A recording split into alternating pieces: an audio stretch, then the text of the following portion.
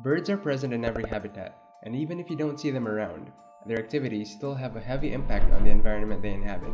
These are called ecosystem services, and they fall into four defined categories. The first category is called supporting services.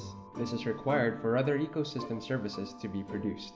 In here, birds help by nutrient cycling. By spreading activities through different habitats, birds can move nutrients from one place to another.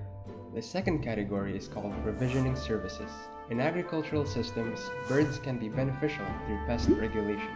Through these interactions, humans can save up by not spending money on expensive pesticides and having more productive, healthier livestock. The third category, regulating services, deals with waste decomposition and carbon sequestration. Birds remove the carcasses of dead animals which prevent outbreaks of diseases. They also prevent climate change by taking in carbon instead of allowing it to go up the atmosphere. The final category is called cultural services, which is about the appreciation of nature. This abstract category gives less material benefits.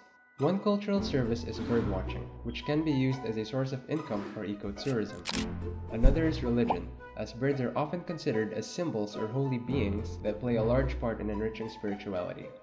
By now, you must have realized that birds are actually pretty important for our ecosystem, yet most of us take them for granted. We have even been the cause of several bird species extinctions in the past hundred years, but because of humans' advancement in science and research, we've realized their essential role in our environment and how they depend on us to survive, just as much as how we depend on them.